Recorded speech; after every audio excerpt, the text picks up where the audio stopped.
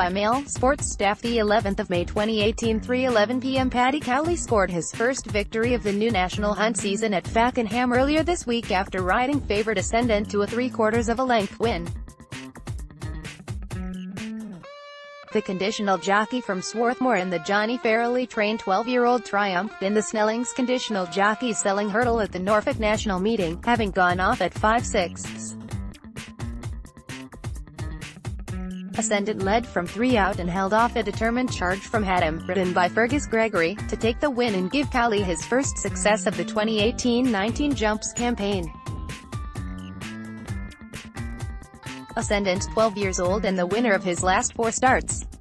At Paddy Cowley at baconhammerpick.twitter.com slash dqjxtlphh7, at the races, at at the races, May 8, 2018 Meanwhile, Cartmel Race Course have announced a record of close to £700,000 prize. Money will be on offer over nine days of racing this summer, which start with a three-day Whitsun Bank holiday meeting on Saturday, May 26, Monday, May 28 and Wednesday, May 30. New sponsors including Harrogate Water, Bidfood and Heineken have come on board, with the former backing the beginner's chase on the opening day of racing at the South Lakes course. Saturday features the first race in the Hadwin's Mares Only Hurdle Series, which carries a £1,000 bonus for the yard accumulating the most points.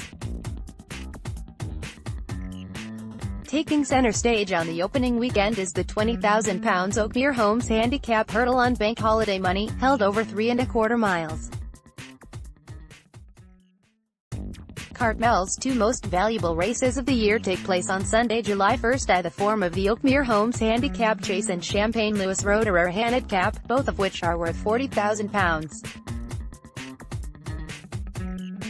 The £25,000 Cumbria Crystal Trophy Handicap on Saturday, July 21st has a new sponsor and bookmaker William Hill, with Coral backing the £20,000 Handicap and Cavendish Cup races on August Bank Holiday Monday.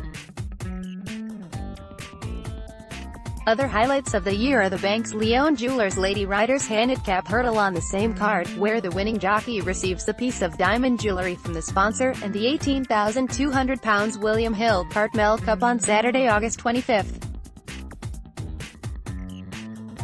The Swan Hotel and Spa will again be backing the Cartmel Jockeys Challenge, along with the final race of the year, the Handicap Hurdle. As is tradition, all winning jockeys, trainers and owners will be given a sticky toffee pudding from Cartmel Village Shop. However, proprietors Howard and Jean Johns will this year be providing a further two puddings for connections of all second and third placed horses as well.